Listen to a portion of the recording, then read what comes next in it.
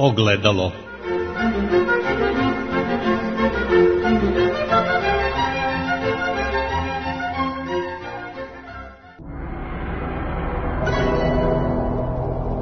Pomaže Bog, poštovani slušalci Radio Svetigore, dobrodošli u emisiju Ogledalo.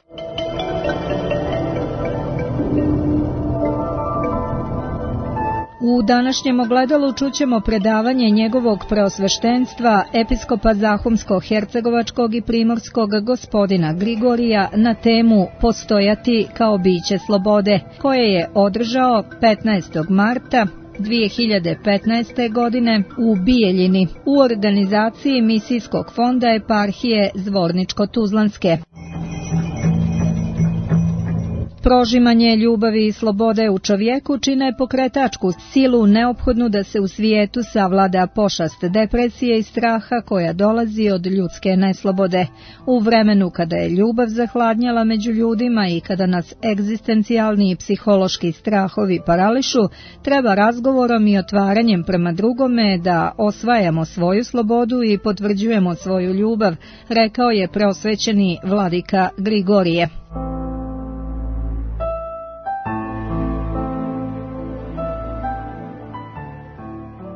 Dragi Vladiko, draga braće i sestre, dragi prijatelji, imam izuzetnu čast da govorim večeras pred vama i pokušat ću da to bude dobro ako je moguće. Da ne bude dosadno, da bude jasno, ali moram prije svega da vam kažem da govorim o jednoj temi koja je možda najkompleksnija tema uopšte našim životima, to je tema slobode. Negdje je neko rekao da u stvari to što je učinilo, na primjer, Dostojevskog da bude veliki je i to što je imao snage da se hrve sa jednim takvim pitanjem kao što je pitanje slobode. Moje predavanje će biti u nekoliko blokova. Moram da vas upozorim da sigurno to što sam ja sveštenik će ponekad da sklizne i u propovjed, da neće biti samo predavanje prosto, ali za ovu bijeljinu sam se malo vježbao u Višegradu i na Palama sinoć, tako da i večeras nadam se da će biti malo opušteniji. Jer prosto mi je drago što sam u Bijeljini, jer je Bijeljina nekako prihvatila moje zemljake iz centralne Bosne, kad je bilo jako teško i tu sam zahvalan nekim konkretnim ljudima, ali to ne bi bilo moguće bez naroda. Međutim, i to će imati negdje veze sa mojim predavanjem koje je u stvari pokušava da objasni da je naš život i naše postojanje više ponekad u rukama drugoga nego u našim sobstvenim rukama. Dakle, Njegoš negdje kaže na jednom mjestu da nema toga ako se ne boji čega, kaže da ničega ono svoga lada, svoje sjenke. Čovjek je biće prožeto strahom, ali je isto tako prožeto slobodom. Sveti Grigorije Nisijski je negdje zapisao da kad su ga pitali šta je to ikona Božja u čovjeku, on je odgovorio da bi to mogla biti sloboda. Zašto sloboda? Zato što je Bog koji je stvorio ovaj svijet apsolutno slobodan.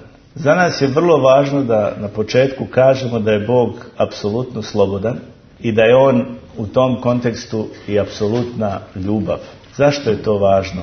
Zato što kad prihvatimo tu istinu da je Bog ljubav, onda možemo da shvatimo i prihvatimo da smo mi stvoreni iz ljubavi. Da mi nismo proizvod Božijeg sveznanja ili Božijeg umjeća, nego da smo plod ljubavi. Kako je i zašto je Bog ljubav? Bog je ljubav zato što je njegov način postojanja ljubav. A taj način postojanja proishodi iz toga što on živi u neprestanoj i vječnoj zajednici triju lica, Oca, Sina i Svetoga Duha. Pogledajte, samo ta imena. Kažete Otac, to automatski znači da on ima Sina. I nikad nema Oca bez Sina. Dakle, u neprestanoj relaciji, u neprestanom odnosu sa drugim je Otac. Iako je Otac uzrok, a Sin rođen od Oca, to se sve dogodilo van vremena i prostora, iznad vremena i prostora i sve se dogodilo iz ljubavi. Otac nije stvorio sina zato što nije nije, nije rodio sina, nije stvorio, dakle nije ga rodio zato što nije mogao sam, nego zato što je on prosto htio i volio i ima sina. Isto tako ishodi duha svetoga. Ta neprestana zajednica nam otkriva, vječna zajednica nam otkriva da je Bog ljubav. Kako i zašto? Zato što nema i nije moguća zajednica, ali pogotovo zajednica u najdubljem smislu te riječi, ako nema ljubavi. Kao što sami znate u vašim životima, nekad se ljudi vole na jedno određeno vrijeme, nekad se zaljube pa se odljube, nekad se e, čini im se da se vole pa se više ne vole. Ljubav bi mogla da se okarakteriše samo da je istinita i prava onda kada je vječna i kada je neprestana. I to ćemo vidjeti da je nevjerovatno povezano sa slobodom. Dakle, Bog, takav Bog, ljubeći i ljubljeni i ljubazni i Bog koji je ljubav, stvara nešto sasvim drugo od sebe, stvara ovaj svijet. Ali kao što rekog, stvara ga iz ljubavi i sa ljubavlju i za ljubav. I u tom svijetu stvara čovjeka po svojoj slici i prilici. Kao što sam se pozivao na svetog Grigorija Niskog, postavljamo pitanje šta je to slika Božja u čovjeku i kako je to Bog upriličio da čovjek tako liči na njega. Kako je Bog konstituisao čovjeka. Vrlo slično onome kako je sin rođen od oca, tako što je Bog rodio drugoga, ravnoga sebi. A ovaj, kako čitamo u molitvi kod svetog Vasilija Velikoga, nije smatrao za otimanje to što je ravan ocu. Dakle, sačuvane su i jedna i druga i treća ličnost unutar svete trojice, da ni jedna drugu ne potire, nego da žive u ljubavi. I takav pristup drugome i drugosti je u stvari savršeni pristup. U kome je drugi ne samo neko drugi u odnosu na nas, nego neko ko potvrđuje nas da jesmo. Zato će i biti moguće da kad pita Mojsije Boga na prvim stranicama Biblije ko si ti, on odgovara ja sam onaj koji jeste. Ja sam onaj koji postoji. A naše postojanje uvijek mora biti potvrđeno od drugoga. Kao i postojanje Božje. Tako Bog stvara čovjeka da on zavisi od drugoga. I zamislite, kad je stvorio sav svijet i u tom svijetu to najsavršenije biće tog svijeta, onda je vidio da nema druga naspram njega. nema drugoga koji može da ga potvrdi kao slovesno biće, a Bog kao sasvim drugačiji, kao nestvoreni, stvori još jednoga druga prema čovjeku, njegovu ženu od njegovog rebra i učini, učini da ona bude drugo i da oni jedno drugo potvrđuju. A onda, kad je pozvao čovjeka iz nebića u biće, iz nepostojanja u postojanje, zamislite kakav blagoslov daje čovjeku. Da isto kao što je on njega pozvao i rekao mu Adame i obratio mu se sa ti i time ga učinio da on jeste, on daje Adamu blagoslov da on svemu drugome da ime, da sve drugo imenuje i da time sve to drugo učini postojećim. I Adam, Adam dade imena svim živim bićima. I sva živa bića postade se živa i, i dobiše svoje postojanje kroz Adama. A Adam svoje postojanje kroz Boga, to je kroz Sina Božijega, kroz koga je Bog stvorio svijet. A kad kažemo da je stvorio svijet kroz Sina svoga, jednako tako možemo da kažemo da ga je stvorio kroz ljubav i u ljubavi. Šta to dalje znači za nas i šta nadalje možemo da iz toga zaključimo? Nešto što je jako bitno.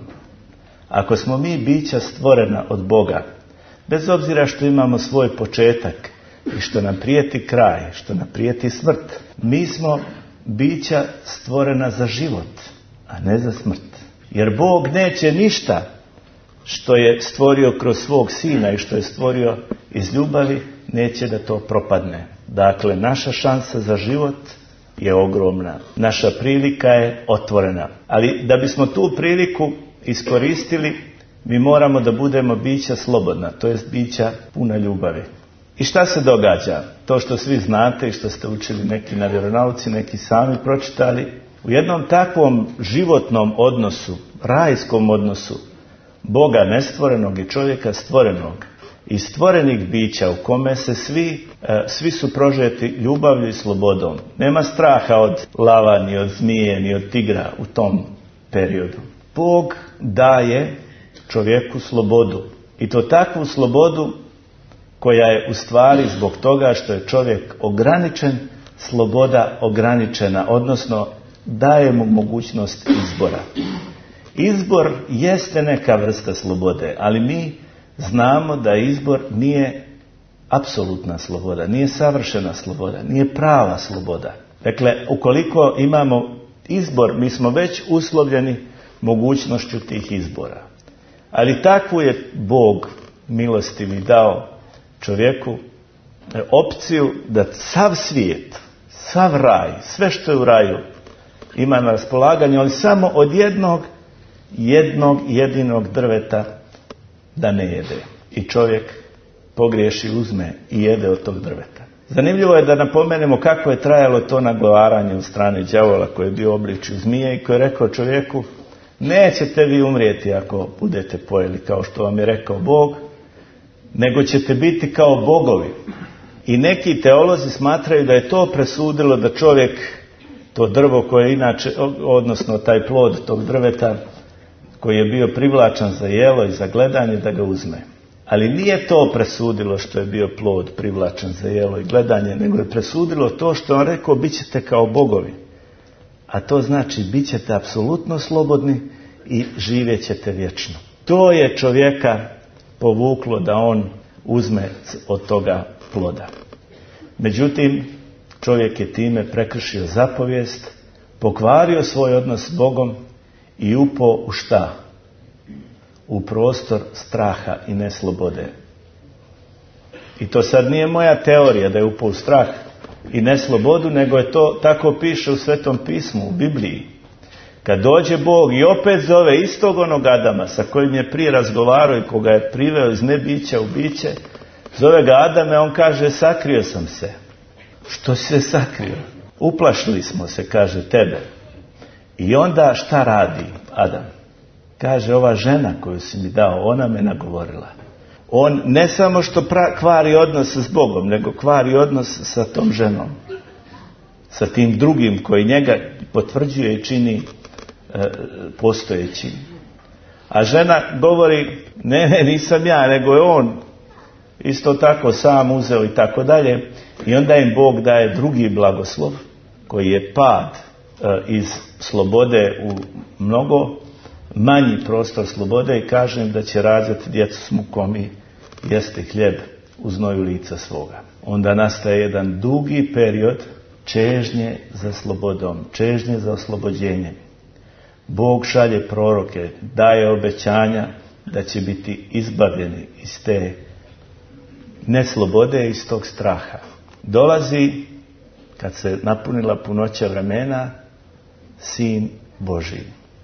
Dolazi novi Adam. Jer kao što je, danas smo čitali na svetoj liturgiji, kao što je kroz čovjeka grijeh ušao u svijet i kroz grijeh smrt, tako je bilo potrebno da ponovo kroz čovjeka u svijet uđe blagoslov i blagodat i sloboda i život. Ali čovjek stvoreni i pogotovo pali sa palom prirodom nije imao snage da se sam sobom izbavi iz ropstva te smrti. Stalna prijetnja, krajnji strah, strah od smrti, a onda i svi drugi strahovi, a pogotovo strah od drugoga.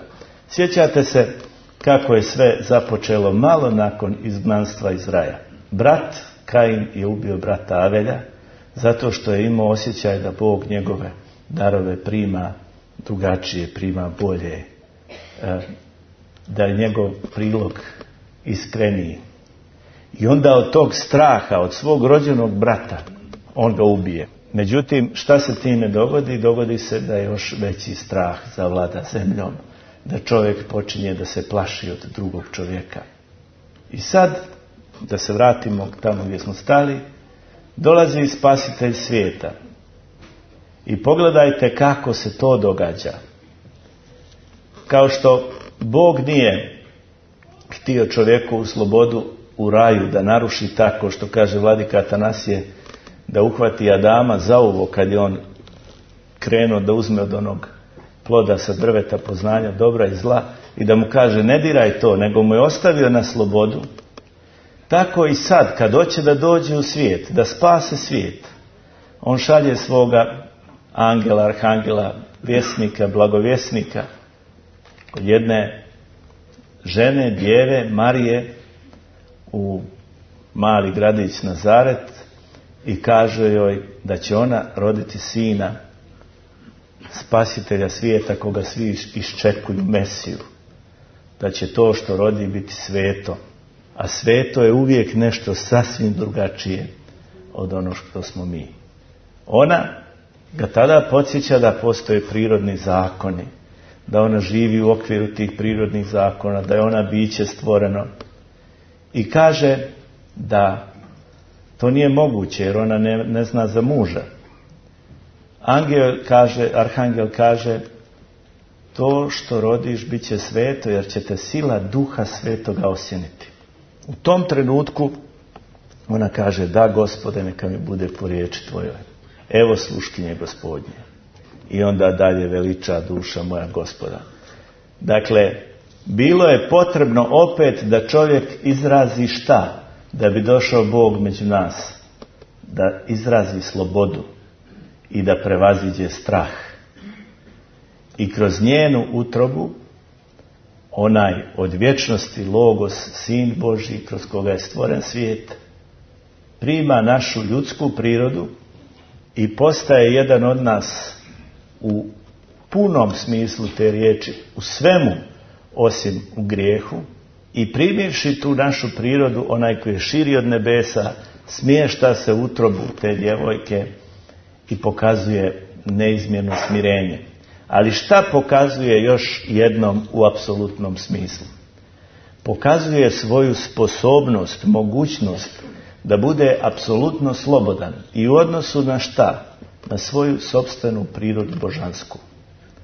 On kao slobodna i apsolutna ličnost koja crpi svoje postojanje iz odnosa sa Ocem i Duhom Svetim, on nosi tu božansku prirodu, a ne da priroda nosi njega. Ima tu sposobnost da iskorači iz te prirode i da je ponese i da primi još jednu prirodu, čovječansku.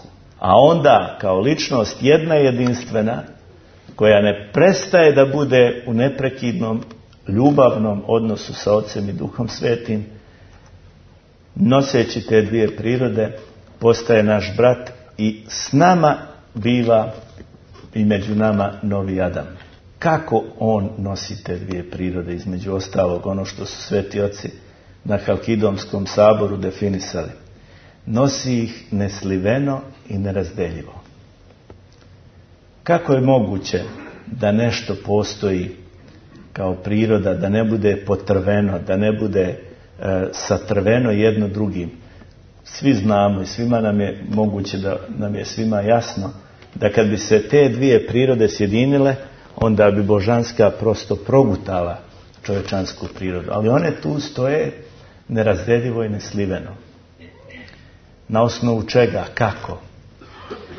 Jedino je moguće to objasniti da stoje na osnovu slobode i ljubavi. Tu neslivenost i nerazdeljivost može da obezbijedi jedino ljubav. Jer ljubav omogućava da nešto jeste nerazdeljivo, a da ne mora da se sliva. Da ne mora da se stapa. I u tom smislu Hristovog bogočovečanskog podviga i njegovog krajnjeg smirenja da postane jedan od nas radi nas i radi našeg spasenja, mi imamo sad odjednom ponovo otvorenu mogućnost da naša stvorenost i naša smrtnost dodirom i susretom sa besmrtnim Bogom, sa Hristom i sa njegovom nestvorenošću u ličnosti, ne na prirodnom planu, bude spasena. Tako živi Bog među ljudima. Otvara im oči, uši, pokazuje moć, daje im da se hrana umnožava, Propovjeda im da, su, da im srca budu topla, duše umilne. Govori o tome da je blaženo biti siromašan duhom, da su blaženi koji plaču jer će se utješiti, da su blaženi milotvorci, čistoga srca, oni koji su izgnani, prognani, oni na koje govore svakoja kerđave riječi. I uvijek na kraju im kaže radujte se, jer je za vas otvoreno carstvo nebesko i velika je plata vaša na nebesima. Taj takav Bog koji hodi i pohodi svoj narod, doživljava nešto što je potpuno nelogično i neočekivano. A to je ono kroz što svi moramo proći. I on nam pokazuje time put i to je ono što danas slavimo, a to je krst. Zašto je potrebno i neophodno da čovjek prođe krsnim putem, putem stradanja? Uvijek koristim taj jedan vrlo upečatljiv primjer, a to je molitva u Gecimanskom vrtu. Hristos nakon tajne večere se obraća svojim učenicima i kaže im prilike ovako. Svi ćete se vi uplašiti. Svi ćete vi pobjeći i izdaćete me. Petar, kao najhrabriji čovjek možda ikada, kaže, ako te se svi odreknu, ja te se neću odreći, makar mora da dam život. I mu kaže, e, moj Petre, neće ni pjetao noćas ujutru zapjevati, jer ti ćeš, me, ti ćeš me se već tri puta odreći. I onda se moli i sjećate se kako opisuje evanđelisti i evanđelisti, da su mu krvave graške znoja izlazile na lice od tog straha smrtnog, jer se kao primivši tu ljudsku prirodu morao da prođe taj, taj strah i da kao e, da pokaže ko u stvari treba da odluči o njegovom i odnosno o našem e, o našoj spremnosti za krst i za spasenje. I šta se događa? On se moli i u jednom trenutku kaže oče, ako je moguće da me mimo iđe ova čaša, čaša tog stradanja, jer je strašna. I onda izgovara te ključne riječi koje su za nas važne. A to je, ali ne da bude moja volja, nego tvoja volja. Tada kaže, ustave, otide kod učenica, kaže, ustanite, prekori zbog njihovog spavanja i kaže evo dolazi čas, dolazi izdajnik moj. Taj trenutak, dragi prijatelji, u stvari nam otkriva da Hristovo postojanje nije postojanje u kome on živi sam sa sobom i sam za sebe. Njegovo postojanje je u rukama očevim. I on svoju volju i svo svoje biće samoga sebe predaje Ocu. Na drugoj strani uvijek mora da znamo da je Duh Sveti neprestano sa njim. Sva hrišćanska hristologija je pneumatološka i sva hrišćanska pneumatologija je hristološka. Nigdje ni u jednom događaju nemamo Hrista, a da tu nemamo Duha Svetoga i Oca. Pogledajte bogojavljanje, pogledajte preobraženje, pogledajte bilo koji važniji događaj koji slavi crkva. Dakle, Sveta Trojica je u neprestanoj, neprekidnoj, vječnoj zajednici ljubavi i vječnoj slobodi koja prožima e, biće našega Boga. U tom trenutku sad da se osvrnemo na jednog čovjeka, da dolaze vojnici rimski, u današnje vrijeme bi to bili NATO ili američki vojnici, britanski, nije bitno, hapse ga i Petar vadi nož i odsječe jednom vojniku uvo. I Hristos ga prekori i vrat, kaže mu da vrati nož tamo gdje mu je mjesto, onom vojniku iscijeli uvo i onda počne šamaranje, pljuvanje, ponižavanje, suđenje, nepravedno, on čuti. Pilat ga pita, jesi li ti Hristos? On kaže, ti kaza. On nema više potrebu da dobije svjedočanstvo od nekog drugog. On je dobio, on je dao svoju volju u ruke Oca koji je besmrtni i životvorni Bog. I onda ide na dobrovoljnu svoju smrt i slavnu. I šta vidimo na tom krstu? Šta vidimo od čovjeka koji, od Bogo čovjeka koji je ljudima otvara oči, liječio ih od svake bolesti, gube, hromosti, od, od, od svake tuge ih je liječio.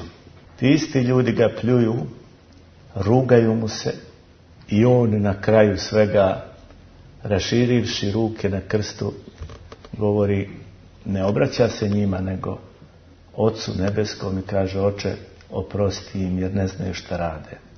I još više kaže ove koje si mi dao ja te molim oče da tamo gdje sam ja i tamo gdje sam ja s tobom da i oni jedno s nama budu.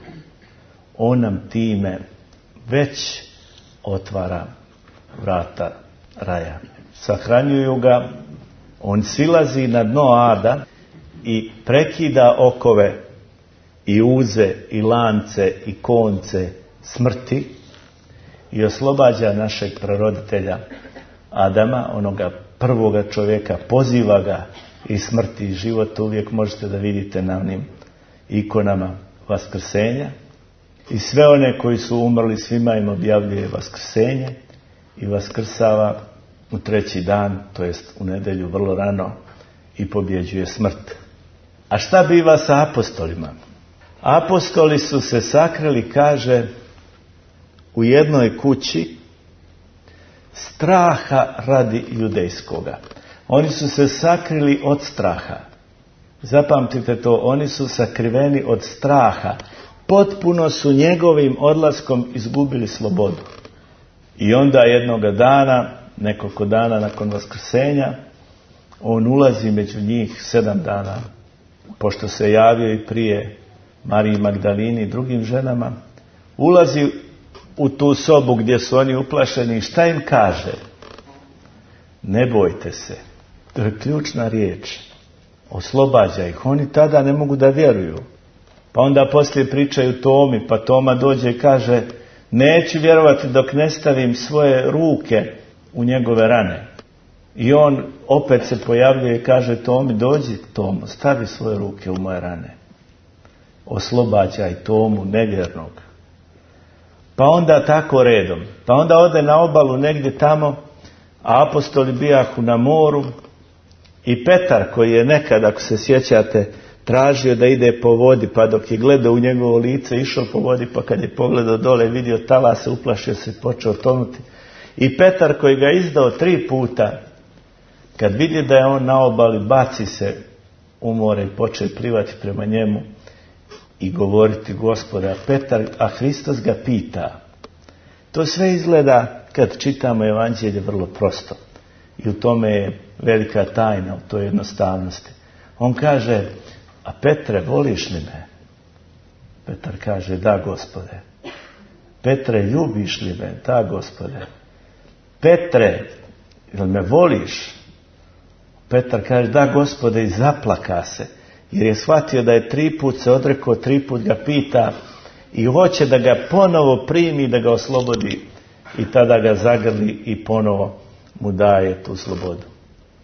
I sad nakon toga svega imamo apostole njih, njegove učenike, koji su se bili sakrili od judeja nakon njegove smrti, koji idu po svemu svijetu i bukvalno osvajaju čitav svijet slobodom, ljubavlju, riječju Božjom.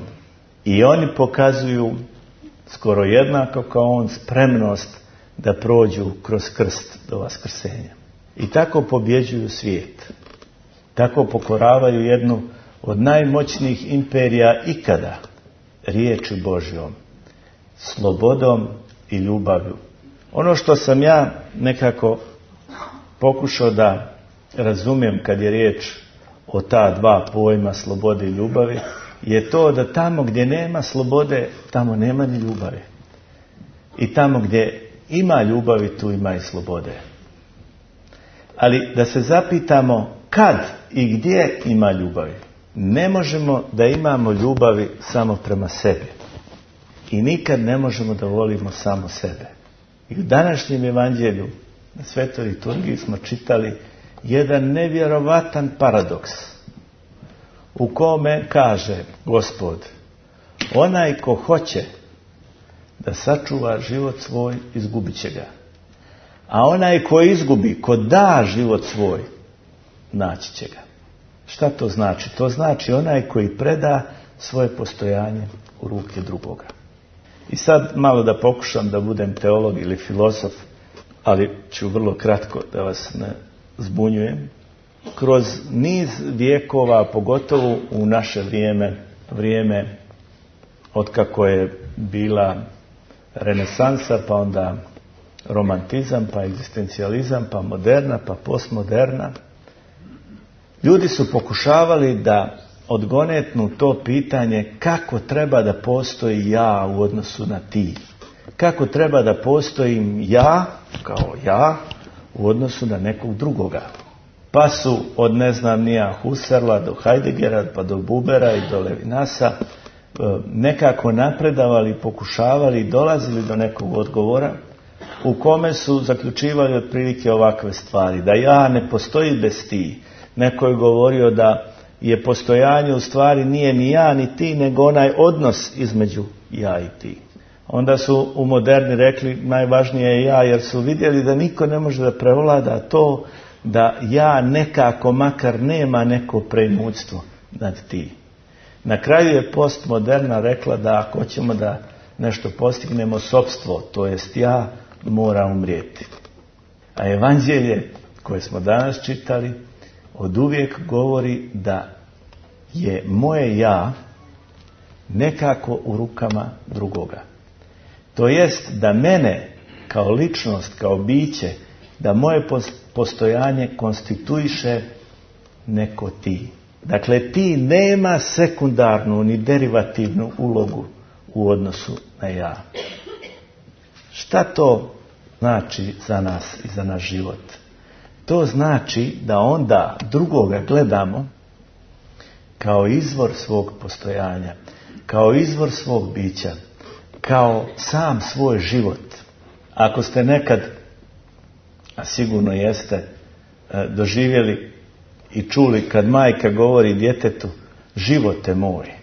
Dakle, nije to samo prosta riječ i puka riječ. To je istinita riječ. Ako ste nekad vidjeli, kao što smo nažalost viđali, kao što sam ja vidio u ovom ratu, kad otac ili majka izgubi sina, on kaže, zakopali su njegovog sina tamo i on meni kaže, moj, kaže, oče, ostao sam ti ja tamo pod onom pločom.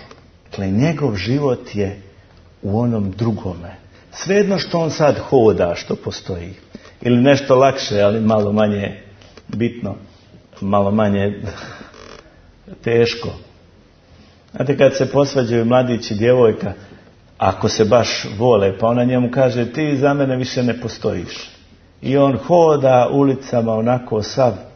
Svejedno što hoda, svejedno što može da se opipa i kaže da je živ, on ipak nekako osjeća da više ne postoji. Dakle, naše biće traži potvrdu od drugoga. Ali Šta je za nas važno kao sveštenike, kao hrišćane, kao vjernike, kao ljude, kao bića, kao čak i za nevjernike je ovo razumljivo. Šta to znači ako ja potvrđujem bilo koga od vas i ako bilo ko od vas potvrđuje mene, ako se sve na kraju završava smrću?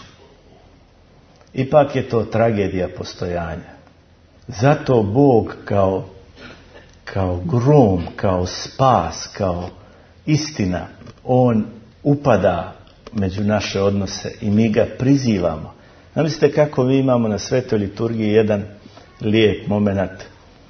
Možda u najvažnijem trenutku liturgije govorimo jedan drugome Hristos posredi nas.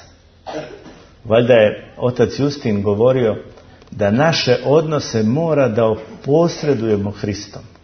Zašto? Zato što tada naše postojanje dobija vječni karakter. Biva oslobođeno straha smrti. Biva oslobođeno svakog drugog straha. Zato je postojanje hrišćana imalo nekoliko karakteristika. Jedna karakteristika je bila sloboda. Sloboda čak i u odnosu na smrt. To nam posvjedočuju mučenici i svetitelji koji projavljuju, kako kaže jedan savremeni teolog, maksimalnu antropologiju. Dakle, mi ako hoćemo da shvatimo da je naše postojanje u zavisnosti e, od drugoga, ali prije svega od drugoga sa velikim D, od Boga, mi moramo da se podsjetimo i možemo da se podsjetimo na riječ jednog velikog filozofa našeg vremena, Emanuela Levinasa, koji, koji je bio, a to ne treba zaboraviti, jevrejskog porijekla. On je rekao jednu vrlo zanimljivu misao, da kad god gledaš ili si gledan očima drugoga, treba da znaš da u tim očima jesu i oči trećega.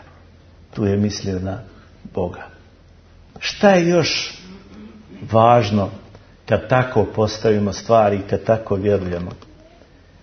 Pa kako mi gledamo onda drugoga? Gledamo ga kao ikonu Božju. Gledamo ga kao lik Božji. Gledamo ga kao, kao kad gledamo ikonu. Svi vi ste, pretpostavljam, imali iskustvo da vam je neka teško i da ste stali pred ikonu u svojoj kući, svoje krsne slave ili u crkvi pred ikonostasom.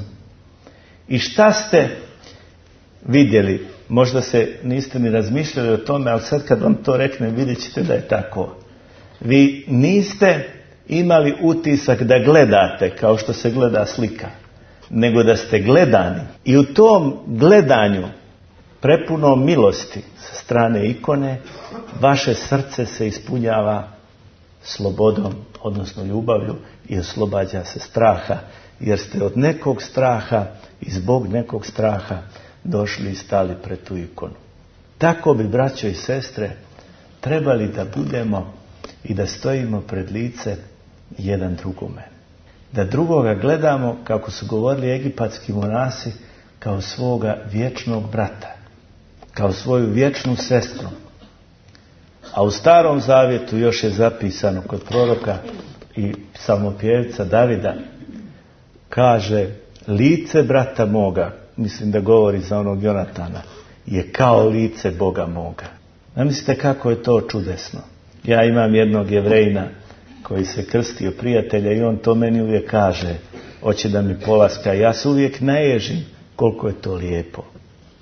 Lice mog brata je kao lice mog Boga. Ili, kako su ovi govorili, vidio si brata svoga, vidio si Boga svoga. Zato što je u svakom bratu tvome, u svakoj tvoje sestri Bog. Šta onda iz toga proizilazi? Pa proizilazi to da se mi onda tog brata i te sestre ne bojimo. I nećemo da je ubijemo. Kao što je Kain ubio Avelja. Ili kao što je jedan od najvećih pisaca savremenog svijeta, Emmanuel Jean-Paul Sartre, rekao da drugi je moj pakao, drugi je moja frustracija, drugi je onaj koga treba, od koga treba da budemo oslobođeni. Možda je to istrgnuto iz konteksta, ali sama ta rečenica, rečena u samoj sebi ili izrečena, je zov na uzbunu, na paniku.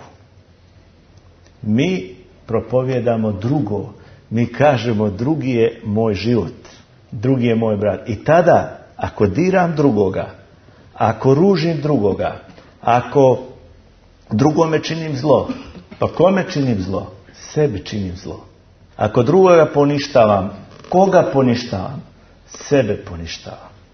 Otuda je hrišćanstvo bilo uvijek vjera, ako hoćete i religija slobode. Otuda je hrišćanstvo uvijek bilo oslobađanje ljudi od straha, od onog najkrajnijeg straha, kako kaže apostol Pavle, od posljednjeg neprijatelja, od smrti, do svakog drugog straha. Sad malo da se našali, ja sam prije nek što sam otišao u Hercegovinu, plašio sam se zmija.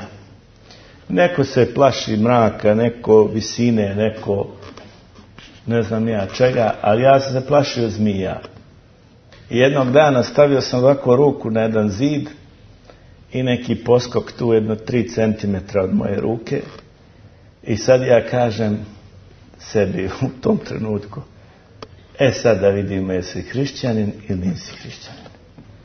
I tako se mi gledamo, ako me ujede, onda vidit ćemo šta će biti, ako me ne ujede, onda sam ja hrišćanin, tako sam ja postavio stvar. I od tog trenutka sam prestao da se plašim zmija. To nije sad važno, ali je važno da svaki strah možemo da pobjedimo, jer je sloboda kojom nas je Bog oslobodio neizreciva i apsolutna. Mi samo treba da uzmemo učešće u toj slobodi, da uzmemo učešće u njegovoj ljubavi, da kad uzmemo učešće u njegovom krstu i njegovom stradanju, kad ispovjedimo taj krst i to stradanje, onda ćemo uzeti učešće u njegovom vaskrsenju, a onda će njegovo vaskrsenje biti naše vaskrsenje. Njegova sloboda će biti naša sloboda, njegova ljubav će biti naša ljubav i mi ćemo živjeti kao sinovi i kćeri Božije, a ne kao najamnici u ovom svijetu. Najamnik je uvijek uplašen, a sin nije, on je nasljednik, on je slobodan. Tako i vi da budete. Hvala vam puno na pažnju.